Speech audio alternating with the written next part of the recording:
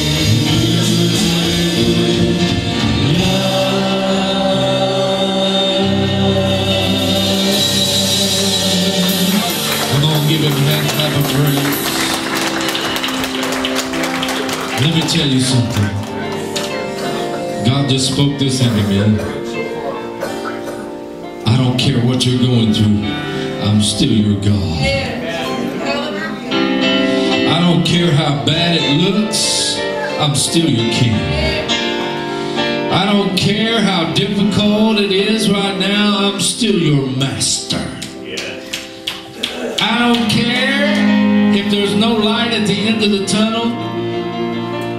Guess what? I'm still your everything. And even though your life seems out of control and you don't think you're going to grab a hold of it again, it's just completely gone haywire. Guess what? I'm still your Lord. I'm still in control. I'm still moving the way I need to move in your life. Even though you may feel like I've left you and I've gone somewhere and there, there I'm nowhere to be found. Let me tell you something. I'm standing right in front of you, making a path where you need to go. Don't you quit on me. Don't you ever forget that I'm God, King of all kings, Lord of all lords, Master of your life. I'm your everything. You are no good without me because I'm God. Sister Becky, go down front.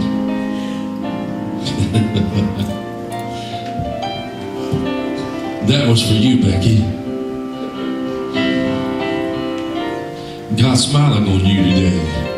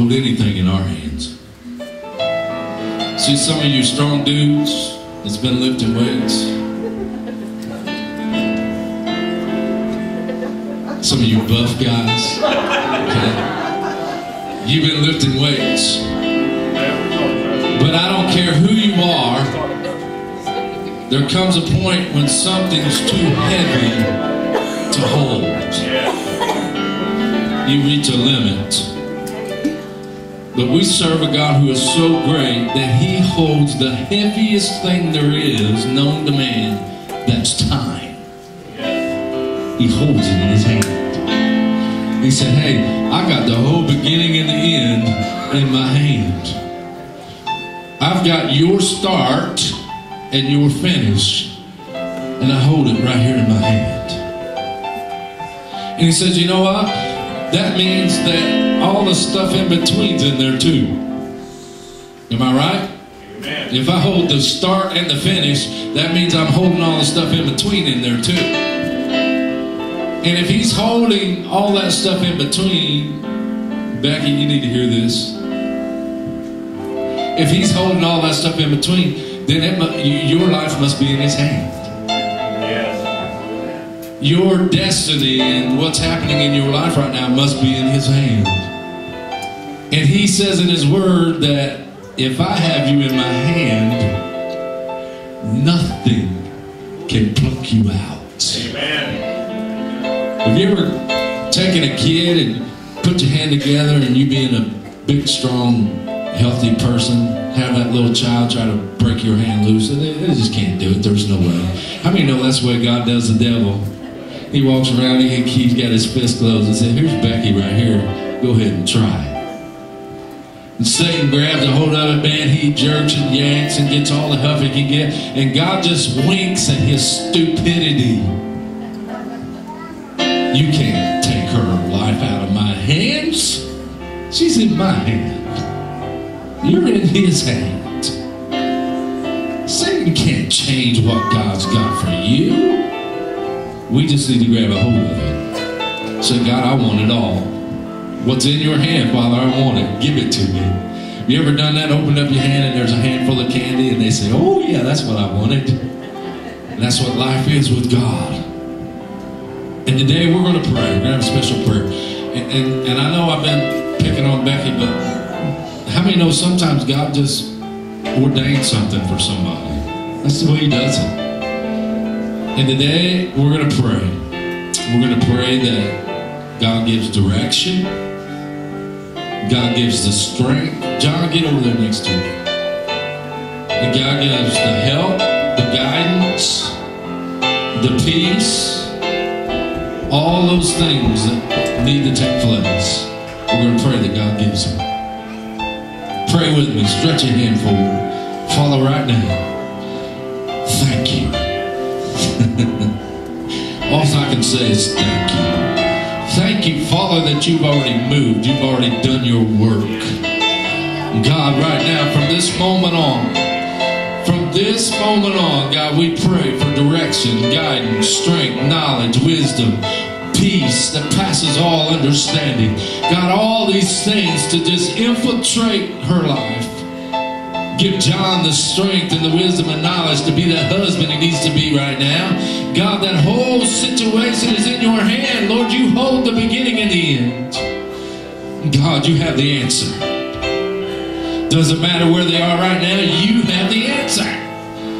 God, right now we just pray that you give the strength that's needed, the peace that's needed, the guidance that's needed to get them through where they are right now. This is for only a season. And Lord, during this season, you promise us strength. You promise us help. You promise us guidance. You promise us peace. And Lord, we're just asking right now, God, that you do it. And Father, through through every single one that's under the sound of my voice right now. God, there may be somebody really going through something, God, that they, they just cannot seem to get through. Oh, God, give them peace today. Let them see your greatness. You are, Father, let them see it today. Father, this is our prayer and we accept it. We receive it. God, it's ours and we're going to take it. Lord, you've opened up your hand this morning and we're reaching in your hand and we're taking what's ours. And we thank you today, God. We give you praise right now. And we just ask you to do it right now. Come on, give God a hand clap of praise. The splendor of a king,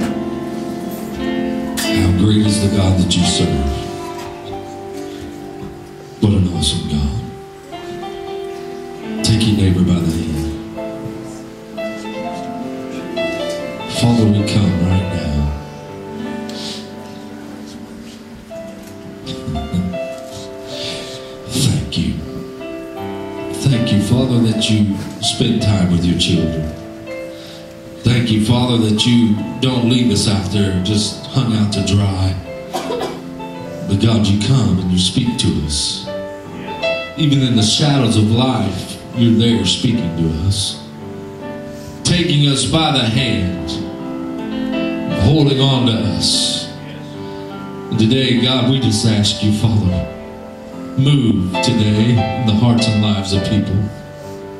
God, today is a day that is full of things that need to be brought out. God, the message today needs to be brought out that the greatness of God is still here.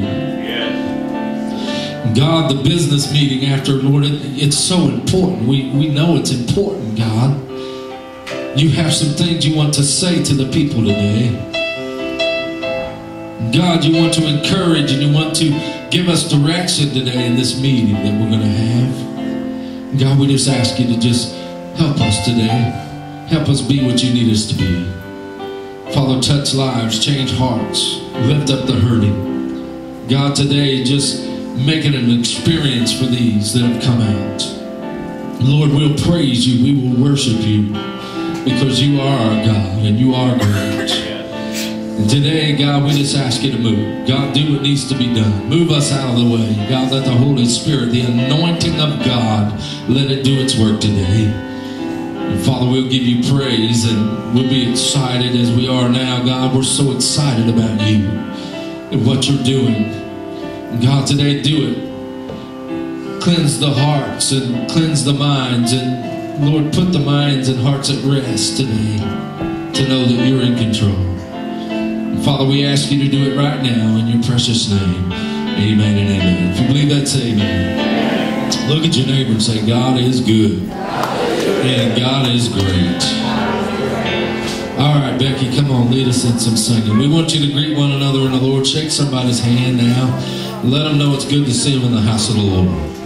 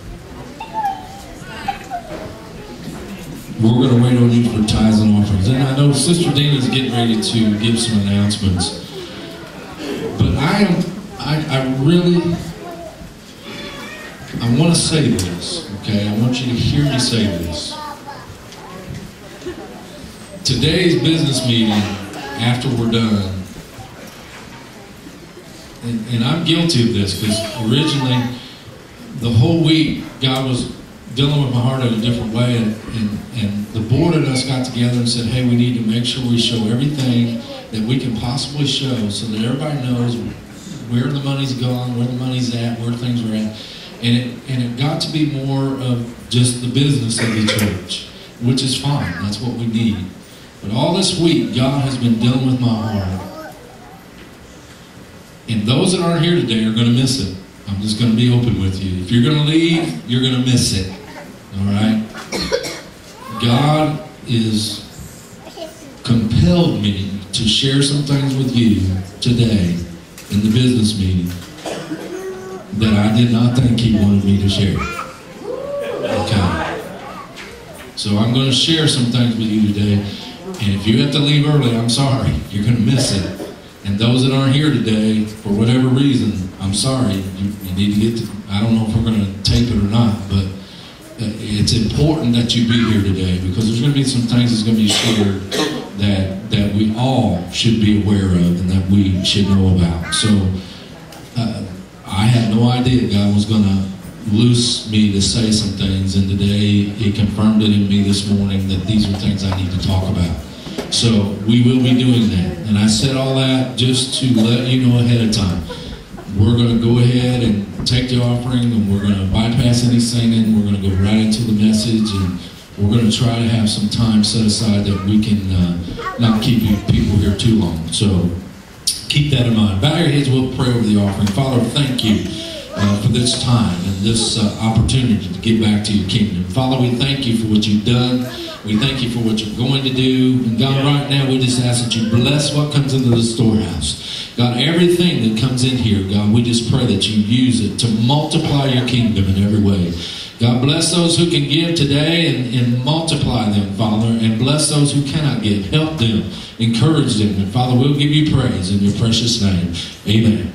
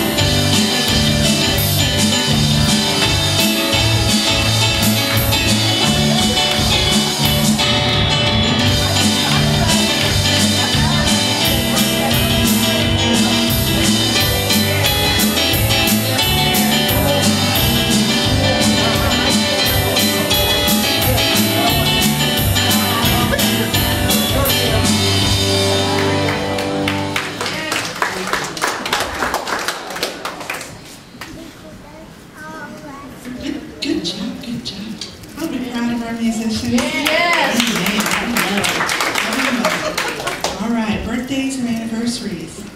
Yes, ma'am. All right, happy birthday, Lisa. Claren? Theo's the 16th. The 16th? Mm-hmm. All right, I think Happy birthday, Theo. My was the 7th. Happy birthday,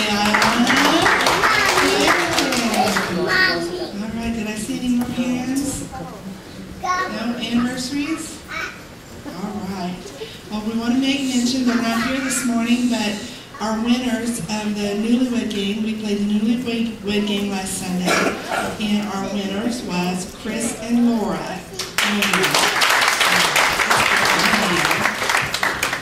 So we were all surprised. They were the second to the youngest, I think, of, of newlyweds. But, um, all right, our Bible study is tomorrow night, men's and women's is on. So it starts at 6:30, so um, uh, be sure to, if you are attending that. Where are the men meeting? Rick and Clark, Rick and Glory's house. right, Rick and Gloria. which tomorrow night's collective is Okay, if you have any questions where that is, uh, see Rick, see Rob, see Tim, um, our pastor, um, and they can let you know. And then uh, there's not going to be any movie night. I know it's in the bulletin, but uh, since we had the snow and it's moved us back some, or, or the ice, snow, and all that that we had to cancel, we're going to cancel the movie night this Wednesday. And um, uh, so church starts at seven on Wednesday, and I believe we are back talking about. Yeah, I, I don't want to interrupt you, but how many are how many have been enjoying the Wednesday night study? I, I'm, I'm honestly saying this is the best study that I've been involved with. I really believe that. And and again, if you're able to make it on Wednesday nights and you don't because you're what? Lazy, okay? Guess what? That's not God's fault, okay? And, and again, I, I throw this out there because Wednesday night has been just awesome. The studies have been awesome. And, and again, if you can make it, please make it. We are on the anointing of God. And, it, and it's very, very uh, in depth and, and, and it's strong. It's, it's strong teaching. And then, like Pastor said today, right after church is our business meeting, and then we're going to have a meeting after the meeting for us ladies. Um, as some of you know, everybody doesn't know, but uh, Brenda's dad passed passed away this week. Excuse me. And uh, we need to uh, discuss getting our the arrangements together for the food for the family. Um, the showing is going to be at Crown Hill um, Monday night from four to eight, and then and he his name is John Ashner. Is that right, Brenda? Asher. Asher. Okay, his name is John Asher.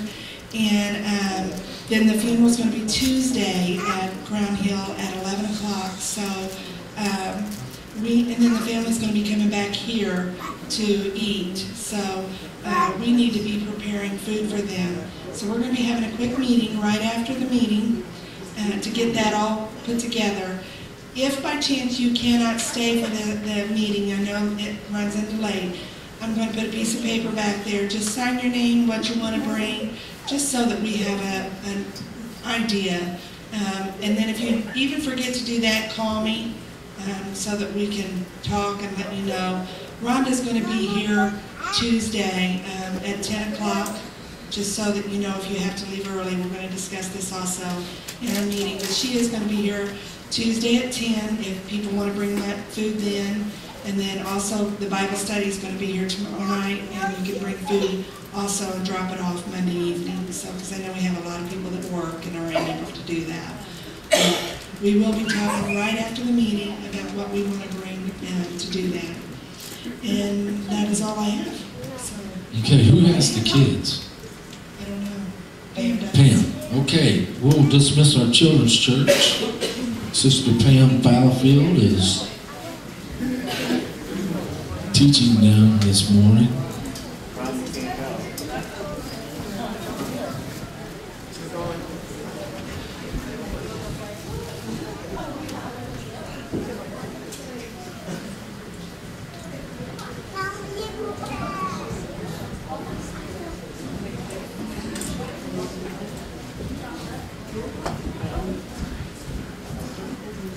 Started a series last week, actually the first week of the, the month, but it was a series on how great is your God.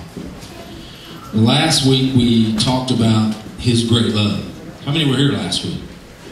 Wasn't it awesome to see how great his love is for us and how powerful his love is for us? Today I want to share with you just a few moments and what a day that uh, this message falls on and, and how many know God knows what he's doing?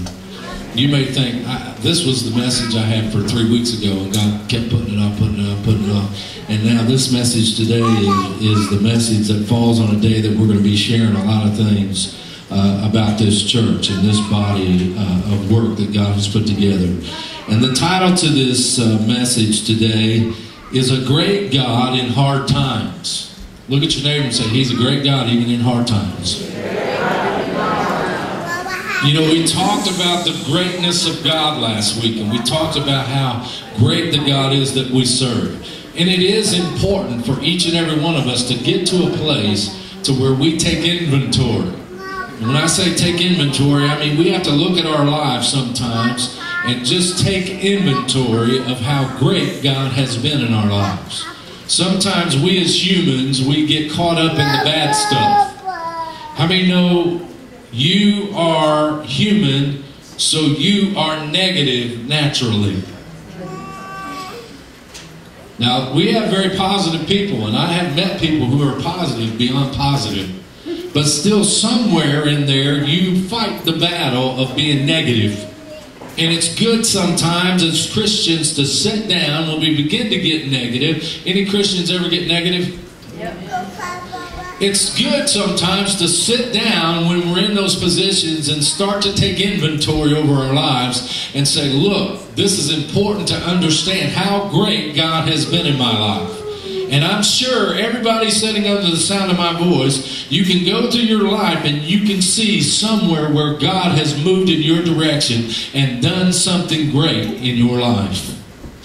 He is greater than great. Repeat that with me. He is greater than great. He's bigger than big. Oh, yeah. He's stronger than strength. He's more powerful than power. Now, you need to think for a while. He's more powerful than power. There is no, we don't even understand how great our God is. And guess what? Our God is the kind of God who loves to show off. You ever met somebody who loves to show off? Well, I've been called to show off my whole life. Because I like to watch people laugh. See, there's something to me, it does me good when I see someone smiling or when I see someone laughing. So, so yeah, I guess I can be considered a show off because I like to make people laugh. And I, but you know what? There's been too many times I've showed off and, and, and at my hurting expense, they laughed. Okay? See, God doesn't work that way. God is so great that He loves to show off His greatness. And from the very beginning of time throughout the day that we stand here today, God has done so many great things to show us He's still there. I'm still around. I'm still great. I'm still more powerful than anything you'll ever face. I'm still the God that you can come to that has all the answers to everything that you go through. That's the God we serve. A God who is so great, He desires to show off and show off His greatness. I shared something with you last week, and we're going to get into the meat of the message, but I shared something with you last week that you need to remember. Don't ever judge God's greatness by what He does for you. See, sometimes we'll do that. We'll say, okay, God has done this, so He's great. But let me tell you something. Even when He's not doing something that you see, He is still great. He may be doing something that you don't see that's even greater than the thing that He let you allowed you to see. So sometimes don't sit down and say, well, God's not really been great in my life because I'm going through this and I'm having this happen and this is going on and I'm not getting through this. God's not really showing his greatness to me because let me tell you something. If you're still hanging on and you're still kicking and you're still breathing and you still have the Holy Spirit speaking to you and convicting you and keeping you going, God has been great. Amen. We have to realize sometimes that His goodness goes way beyond what we think and how we measure. Go with me to 1 Kings chapter 19. This is one of the most familiar passages, one of my favorites, and I've preached it three or four different times in three or four different ways. But this passage today about Elijah is going to share with us two things things to do to keep God great in our lives, and things not to do in the times when we need God's greatness. And we're going to find out these things. How many are there? 1 Kings chapter 19. We're going to start with verse 1. We're only going to read through 19. I'm reading out the New King James. Here's what it says. And Ahab told Jezebel all that Elijah had done. Now remember, Elijah had challenged the people, the prophets of Baal. And he had stood out on the mountainside and he called fire down from heaven. Okay, and it consumed the altars. And it made Ahab very upset, especially after he killed all of the prophets. Now listen to this. And Ahab told Jezebel all that Elijah had done. Also, how he had executed all the prophets with the sword. Then Jezebel sent a messenger to Elijah, saying, So let it, let the gods do to me, and more also, if I do not make your life as the life of one of them by tomorrow about this time. And when he saw that, he arose and what? Ran for his life. And went to Beersheba, which belongs to Judah, and left his servant there. But he himself went a day's journey into the wilderness, and came and sat down under a broom tree. And he prayed that he might die. Is that right? The prophet of God had just called fire down from heaven, and he prayed that he might die. It says, and said, It is enough. I can't do this anymore, God, is what he's saying. Now, Lord, take my life, for I am no better than my fathers. Then, as he laid and slept under the broom tree, suddenly an angel touched him and said to him, Arise and eat. Then he looked, and there by his head was a cake baked on coals and a jar of water. So he ate and drank and lay down again. And the angel of the Lord came back the second time and touched him and said, Arise and eat, because the journey is too great for you. So he arose and ate and drank, and he went in strength of that for, uh, food for 40 days and 40 nights as far as Horeb, uh, the mountain of God. And there he went into a cave and spent the night in the place. And behold, the word of the Lord came to him and said to him, What are you doing here, Elijah? So he said, I have been very zealous for the Lord God of hosts. For the children of Israel have forsaken your covenant, tore down your altars, and killed your prophets with the sword. I alone am left. You ever felt alone? God, it's just me. Nobody at the sanctuary really cares. None of my brothers and sisters really care. They really don't care what I'm going through. I'm here by myself. It's just me. I am alone and left, and they seek to take my life. Then he said, Go out and stand on the mountain before the Lord. And behold, the Lord passed by, and a great and strong wind tore into the mountains and broke the rocks in pieces before the Lord. But the Lord was not in the wind. And after the wind, there was an earthquake. But the Lord was not in the earthquake. And after the earthquake came a fire, but the Lord was not in the fire. And after the fire, there was a still small voice. So it was when Elijah heard it that he wrapped his face in his mantle and went out and stood in the entrance of the cave. Suddenly a voice came to him and said, What are you doing here, Elijah? And he said, I have been very zealous for the Lord God of hosts, because the children of Israel have forsaken your covenant, tore down your altars, killed your prophets with a sword. I alone am left, and they seek to take my life. Then the Lord said to him, Go, return your way to the wilderness of Damascus. And when you arrive, anoint Hazael as king over Syria. Also, you shall anoint Jehu, son of Nemash, Nisha, uh, as king over Israel. And Elisha, the son of Shaphat, uh, of Abel, Lord have mercy, Meholah, you shall anoint as prophet in your place. It shall be that whoever escapes the sword of Hazael, Jehu will kill them. And whoever escapes the sword of Jehu, Elisha will kill them.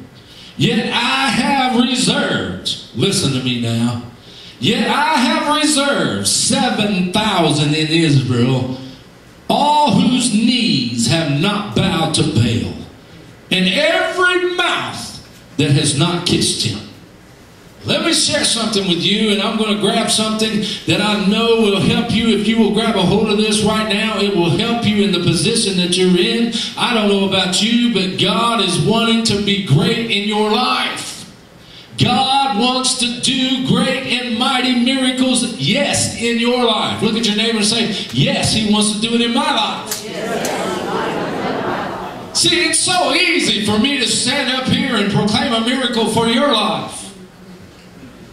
It's easy when Sister Becky's standing here and God's speaking through me and saying it's going to be okay. You tell her that I got I got her covered. Man, there's something comes over me that I know I have no doubt in my mind that God is going to take care of Becky. Yes, amen. But man, when it comes to me, whew, I don't know, God. I feel alone. I don't know, God. I don't know if you can do this miracle in my life. I don't know, Lord, if you can do what needs to be done in my life. God, I don't, I, I don't know if you. I, I know you're big and I know you're great, but will you do it for me? See, that's where we are today. We need to grab a hold of this fact. Yes, He can do it for you. Look at your neighbor and say, He can do it for me.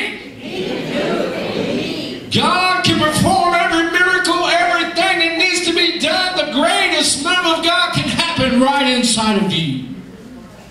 Because that's the God we serve. A great big God who loves to do great things. Now, let me share something with you. Some of you are going through it. I could go around this room right now and pick about 16 people and say, This message is for you. Please listen. You ever had God say, Will you please listen? The other day I was I was rambling. I'm good at rambling. See, I'm a wordy person. Even God knows that. Sometimes God will let me ramble and then he'll stop me and say, Will you just shut up and listen? Listen to what I'm about to tell you. How many want the greatness of God moving in your life? Amen. Listen to what happened here. Okay, God will be great during hard times if we don't do these things. Do not, look at your neighbor and say, do not do these things.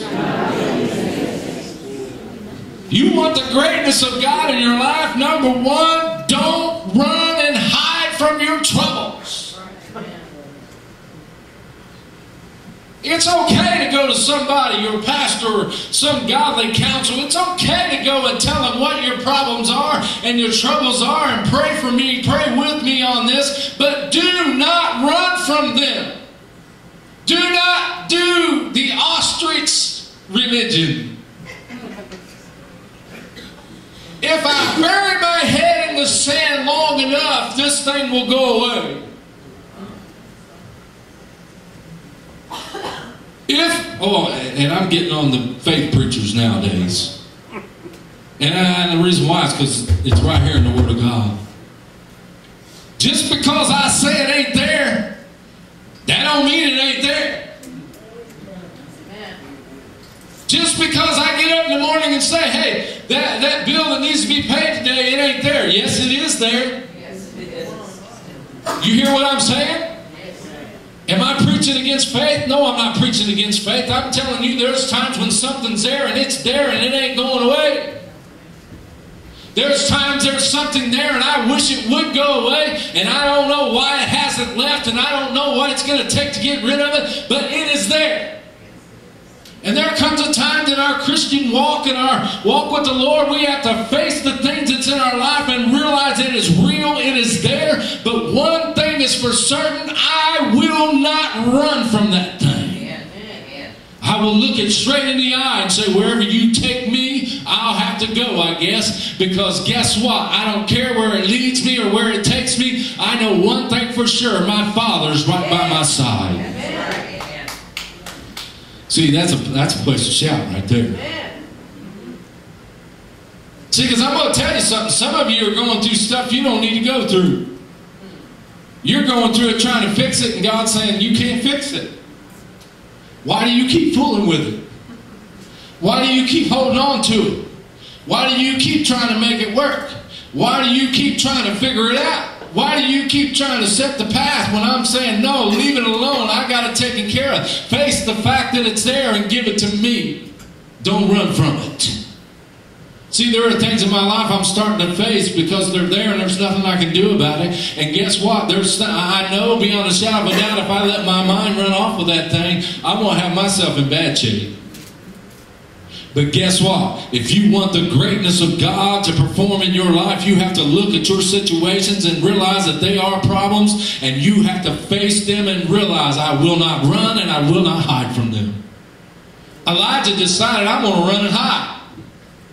Because Jezebel threatened me. Always thought that was funny. Some of us, we're the same way. You got to remember now, Elijah, can you imagine what he looked like? I thought about this the other day. I, I imagine, I wanted to really imagine what Elijah looked like. I'll bet you he was a mess.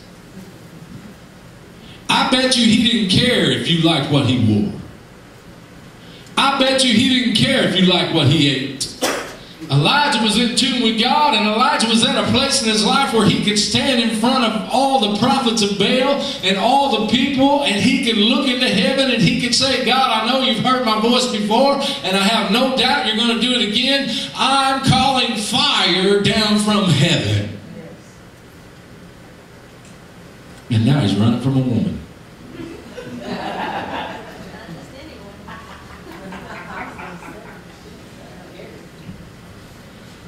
I thought to myself, I thought, when I read this, I thought, ho, ho, ho, wait a minute. If I was Elijah and I got the word like that from her, I'd have walked right up to her and I said, let me tell you something. Who do you think you are? That's how we should do the devil sometime. We need to look the devil in the eye, quit running from our face and look, bud. You may talk bit bad, but I'm going to tell you behind me because standing right behind me is the great who all things. I'm not, I'm not going nowhere. Do you give me your best shot because it will not work. But what we do, we run and hide. I got to find me a cave. Jezebel done threatened me.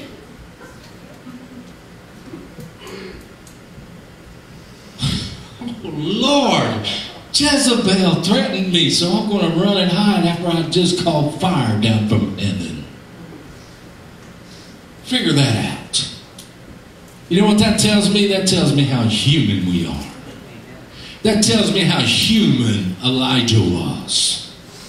That even the greatest prophet of fire, the prophet of fire, could call it down from heaven, ran when the woman said, I'm going to kill you. So do not run and hide from your problems. Let me tell you what, here's next. And he did a whole lot of this. Don't you whine and complain all the time. Y'all need this, okay? I need it. Quit whining and complaining. Look at your neighbor and say, quit whining and complaining. Now, some of you talking to your wife or your husband, they're going to get mad at you now. Do you know what we do? Elijah went to God and he said, Oh Lord, just kill me, God. I've done all these great things. I gave you everything. And look what you're doing to me. Not God's fault. We can spend all of our time whining and complaining about where we are and what's happening. And, and, and again, I'm not I'm not discouraging you for going and, and getting counsel and help getting help where you are today. But what I am warning you about is if you want the greatness of God to move in your life, you've got to get past the whining and complaining and see it as God getting ready to do something great. See, I've told myself it doesn't matter how bad things get, it doesn't matter how I feel, I'm going to do my best to not let it come out of my mouth. The only time I'm going to let it come out of my mouth is if I'm sharing it with someone to pray with me or if I'm sharing it with somebody that I know I can go to that can help me. Because guess what? Everything else is just my selfish body crying out, pay attention to me. Pay attention to me when I'm going through. See, some of you don't like this preaching. I can't help it. You're going to have to take it up with God. Because Elijah did the same thing. He said, God, you might as well kill me. I've done everything. I've worked for you. I, am just, oh, and, and, we all know what that creates, and, and, we can go into that, but you all know that whining and complaining all the time, guess what it does? It, it, it gets you set up for your own little pity party. Guess who shows up? Nobody, just you. You can make it all pretty. You can, you can put signs out in front of your house. Uh, the pity party here today. Nobody's coming. Elijah did that. Don't whine and complain. Number three, don't give up. Look at your neighbor and say, Don't give up. Don't give up. If you give up, you're saying to God, You're not big enough. If you give up, you're saying to God, You're not as big as my problem I'm going through. If you give up, you're saying to God, You're not great enough to take care of my needs. So I guess I'll quit and do it on my own. See, you may not realize that, but when you give up on God, that's what you're doing. You're saying, God, you're not big enough, I'll take care of it. How many know that's some dangerous ground right there? That's dangerous ground. Don't give up. Last thing before we go into what you need to be doing. Last thing, don't ever forget what God has done for you.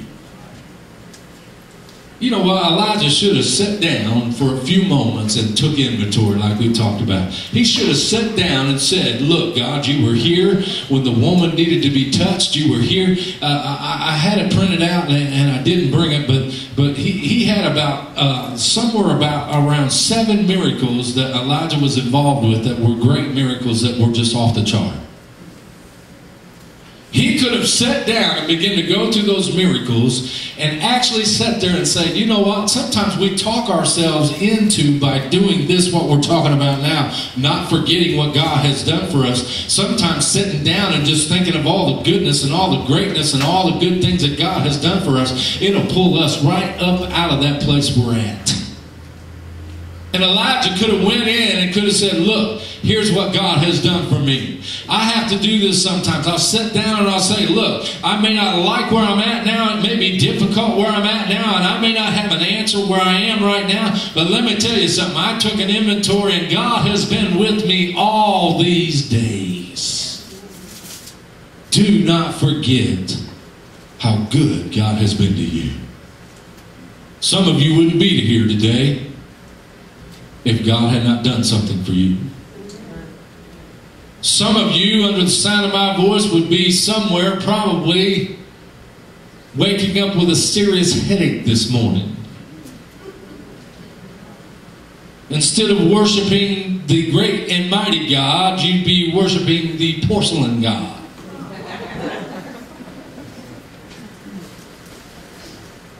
Don't ever forget what God has done for you.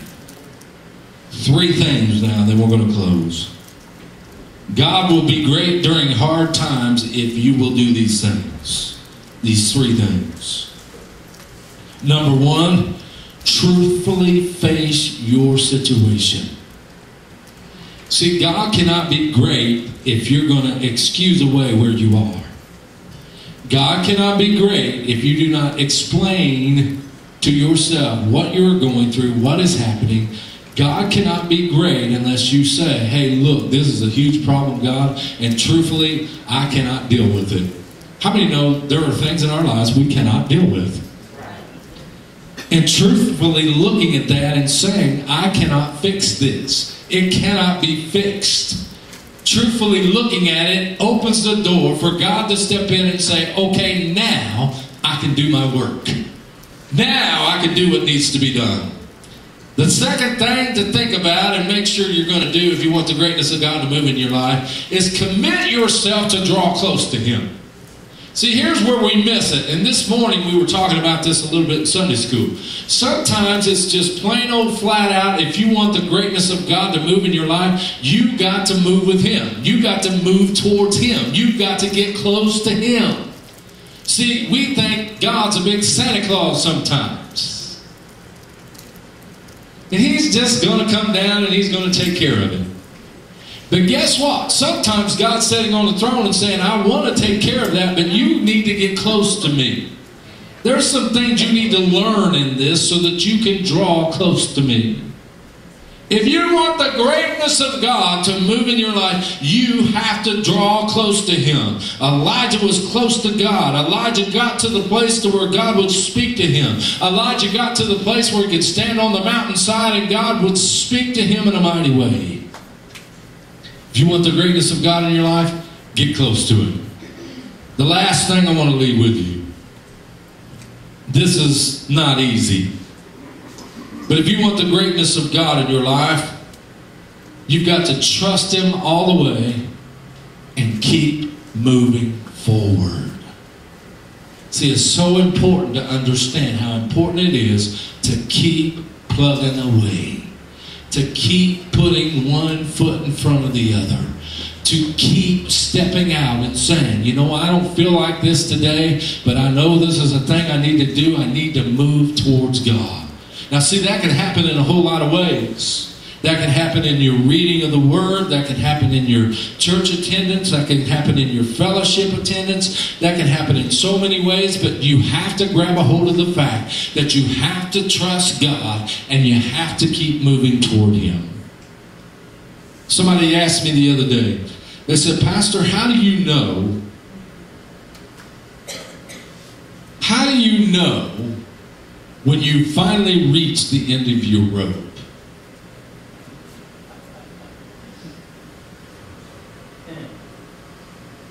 And my answer was simple. I said, you know what? I don't think we know, will ever know the end of our rope.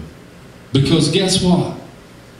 Close to the end of everyone's rope, guess who's standing there? God. He stops us, comes through for us every time when we think it's the end. I've said it before, it's not just an end, or it's not a bend, it's not a, an end, it's a bend in the road. Sometimes we think this is it, it's over, there's nothing else left there, and God said, No, I'm just taking you somewhere else. So trusting Him completely all the way, moving toward Him. See, this is so important. People move away from Him. When trouble comes, they hide. When trouble happens, they go another direction. When trouble happens, they begin to hide and pull themselves away from God. And all the while, we need to be moving toward Him in every way.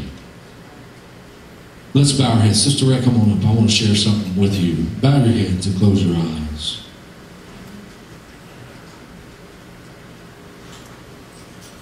God is so great.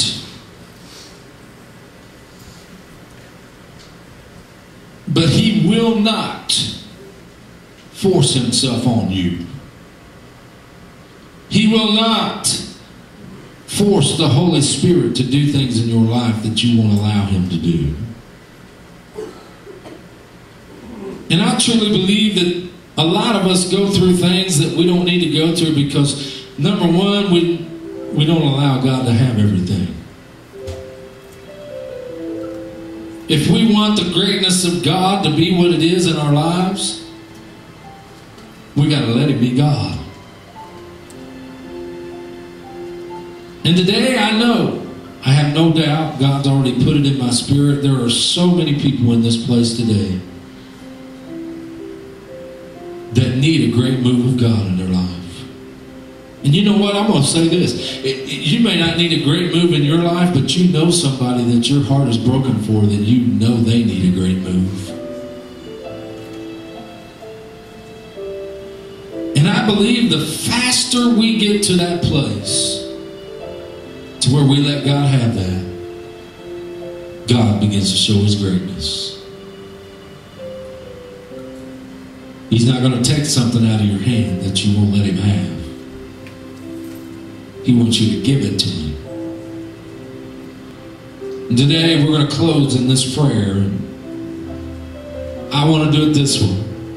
If you are here under the sound of my voice and you have something in your life or something for someone else's life that you've been, you're just struggling with it and, and, and, you almost feel like it's something that you just can't let go of all the way, I want you to get out of your seat. I want you to come forward. Don't hesitate. Don't be ashamed. Don't be embarrassed. Come forward.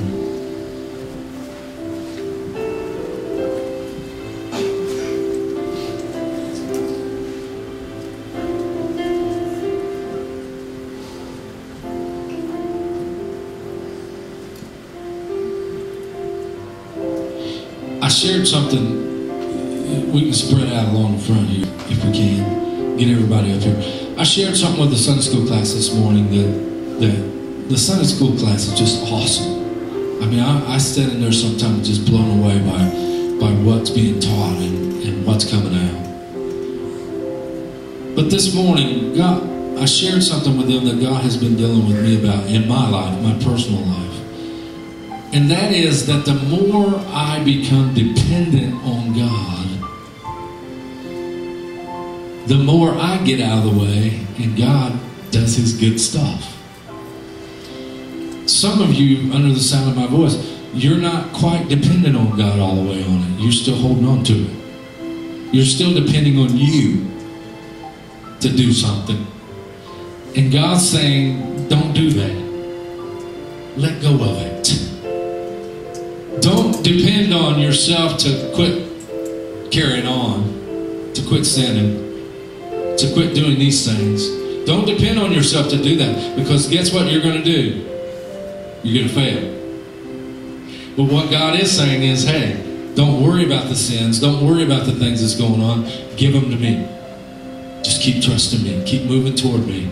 And before you know it, I'm going to move in your life and you're going to see something great happen. And I believe that with all my heart. So as we pray, I want you to just, we're going to pray that you're able to begin to release that thing to God. Pray with me. Come on now. Father, right now, thank you for your word. Oh, God, thank you for your word. Lord, you see everyone that's standing here right now. God, you know before we ask. The Bible says you know before we even pray what we need. God, you know every heart that's standing here today. You know every situation that's standing here today. God, you know every need that's standing here in front of us today. But God, we come to you because your scripture tells us to come to you and ask you. God, we come right now. We ask you, Father, hear our prayer today. Lord, take each and every one of these that stand here today. God, begin to help them to release their situation to you fully, completely. God, help them to let it go to the point to where they're free from it. They have a peace about it. They don't need it back because they know it's in your hands. God, do it today, we pray. Lord, do something that man cannot do. Do something down and deep inside the soul today. That passes all understanding, that, that speaks to us, and we don't even know how it happened, we just know it happened. God, do it today. Help them release that thing to you, that it's in your hands. And God, when the devil reminds them that it's still there, Lord, you give them the strength and the stamina to say it's still there, but God has it in his hand now. Give them that strength, that wisdom, that knowledge. Father, we'll give you praise for answering our prayer. We thank you so much today, God. In your precious name. Amen and amen. If you believe that, say amen. amen. God is good. All the time. And all the time. I'm going to ask our council to come forward.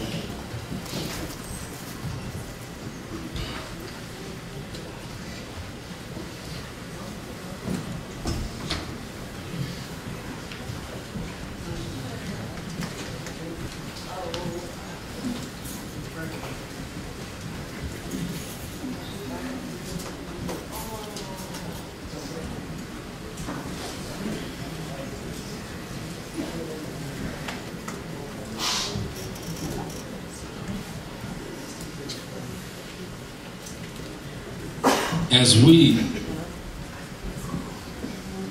begin this meeting, I want to I want to lay some things out for you. Bye, Terry. Love you, sweetheart.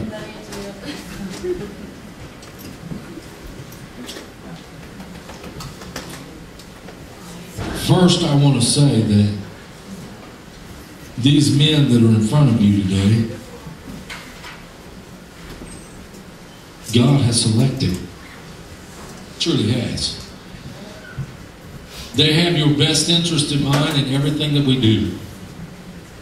And I know some of you probably think, well, you know, Pastor does this, but let me tell you something. These guys have a lot to say when we're making decisions.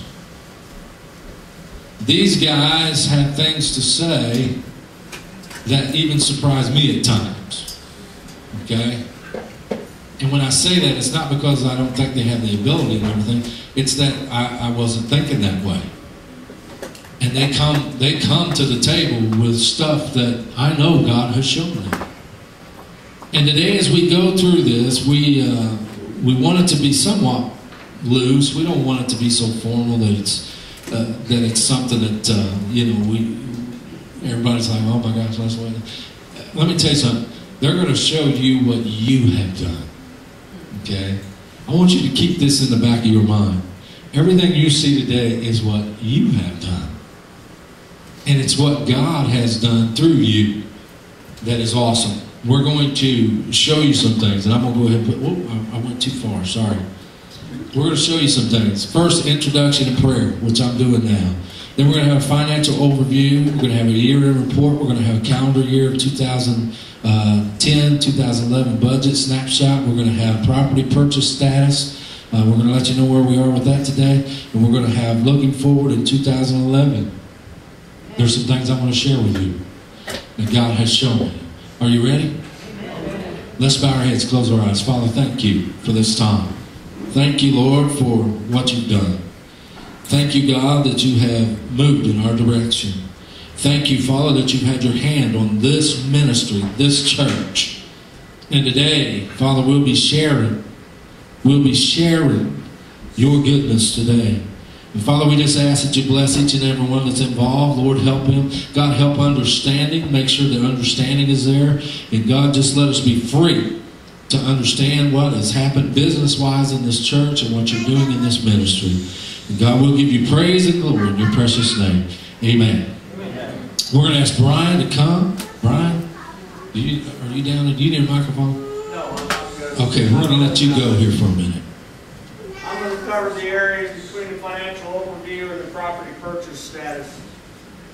And I think you're going to be amazed by some things. I know I was when I crunched down through some of the numbers. First thing was the financial overview. What's really uh, neat to see here is to take a look at uh, God's obedience as a church and things like this weekly offering. The income through the hardest of times and through some of the socioeconomic things that we've uh, had to go through as, as uh, a, a local group, as a state and a nation. And as such, you always have some of your expenses go up because we have more ministries. We attempt to do more things, or God leads the pastor to lead us to do more things to reach out.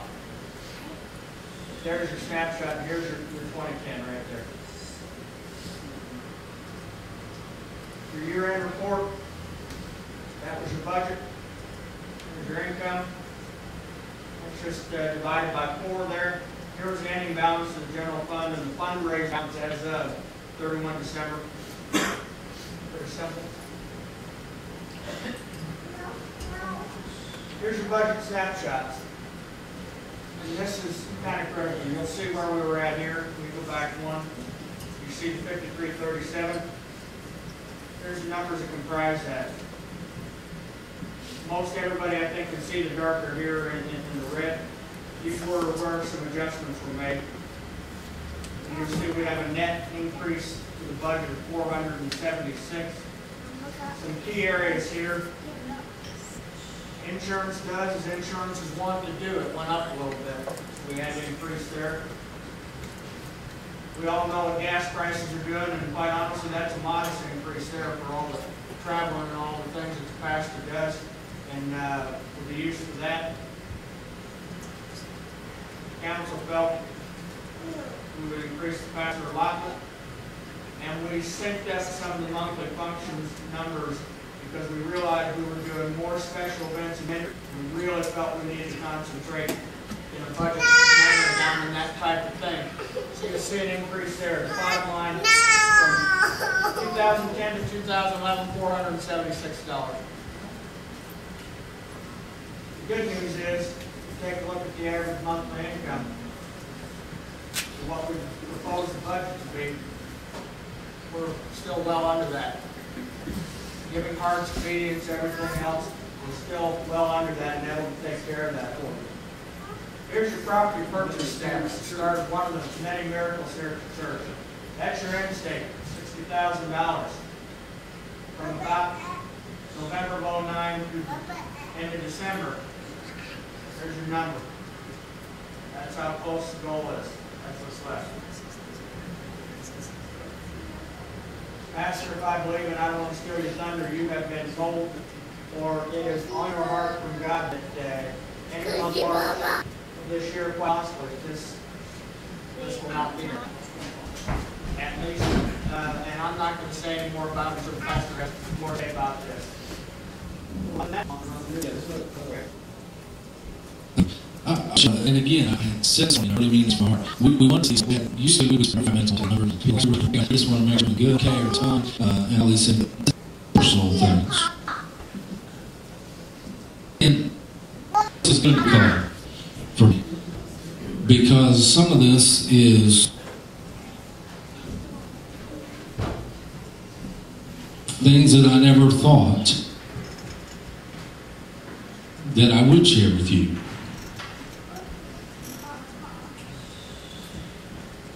But let me ask the let me ask the question. How many don't raise your hand? Okay, I'm just making I'm giving you that food for thought.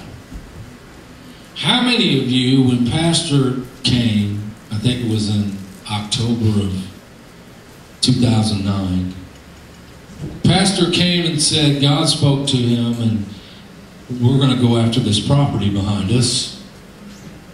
Some of you may remember, some of you may not. And, and God told me that there was $25,000 immediately available. Some of you may remember that, some of you may not. I know this much. When God told me that, I was rebuking every kind of evil spirit and everything in the whole. I said, Lord, I know our congregation. That ain't there. And then it got worse when God said, No, not only is it there, you're going to have to tell them it's there. See, you, here's you know if you know me very well, I've worked my entire life. I've worked ever since I was 16 years old. I worked hard. I've, I've made I've made it my. I know what you go through. I'm not some minister that uh, has a, a $500,000 a year salary on his church and, and sits back and just keeps talking about money. I know exactly where you are. And when God spoke to me and said, You tell them. Heck, at the time God spoke that into me, some of you started losing your jobs. And God said, You be bold and you tell them. There is $25,000 today, right now, in this congregation. How many, how many remember the story? Three weeks later, what did we have? $30,000. In this church, this congregation. Now, how many believed when Pastor came along and said, Hey, God said it'd be paid off by the end of March? Some of you done went home and wrote it off, said, Pastor done lost his mind. He's nuts. He's went over to the deep end. And when you look at this today, we're still 12, 13,000, somewhere in there. We're still behind. We're, we're off the mark about 12 or 13,000 dollars. If you knew what this council knew, you would be shouting, your head would be hitting the ceiling right now. Because I'm only going to say this it will be paid off Amen. by the end of March. I was, I'm telling you, it's proven fact, it's done, it's over with, it's happening, God's doing it. As we're sitting here today, things are in motion for it to happen, and it will be done just like God said. Amen.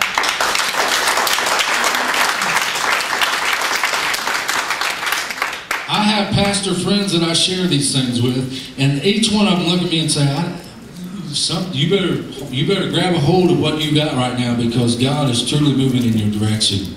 You got to remember something. You all, this is not about what pastor has done. It's not about what this council has done. It's about what you all have done.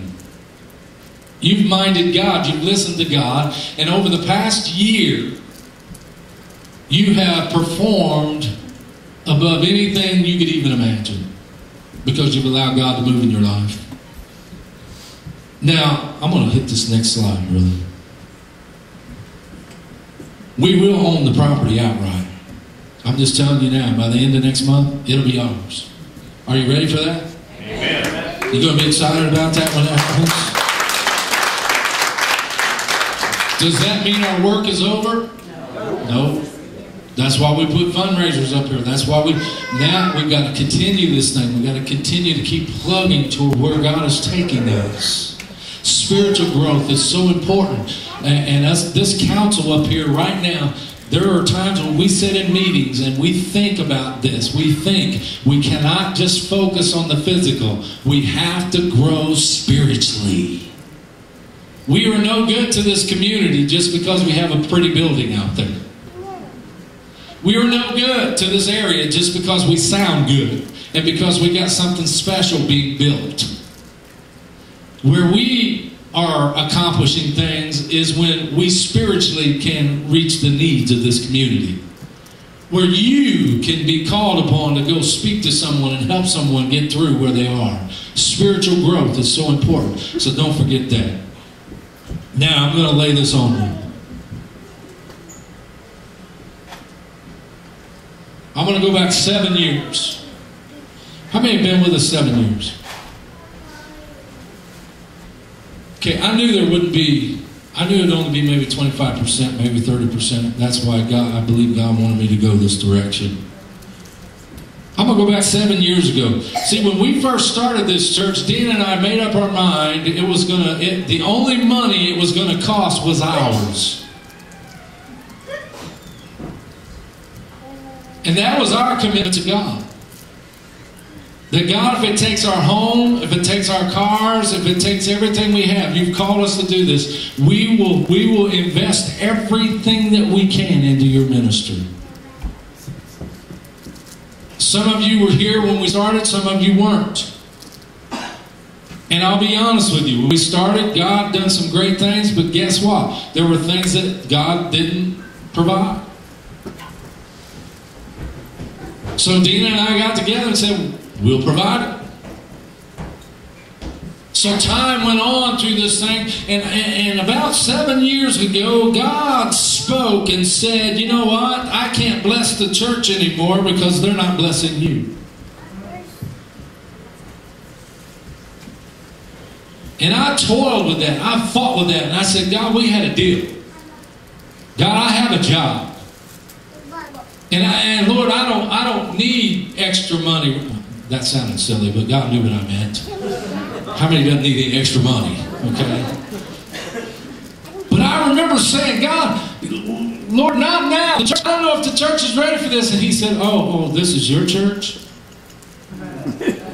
That's that's a does. And I said, No, God, this is your church. He said, It's time for them to go on a program, to start to reach out to the leadership. And I'll tell you exactly what that first piece was. The very first thing they gave us was $400 a month. Woo! Thank God. You may think I'm making light of that. No, I'm talking about a church that was in its infancy, just about. Felt uncomfortable? Yeah, I felt uncomfortable. If you hold on saying, I let me do it the way I need to do it, then listen. And you go a little more. And that's why I to see it. And about five years, I want to share something to you that's very personal. A few years ago, Dino's, her and I, this was a special time for her. We were eating dinner, and I can tell it was a cracker barrel. We were eating dinner, and at the same time, we looked at each other, and you know each other. We married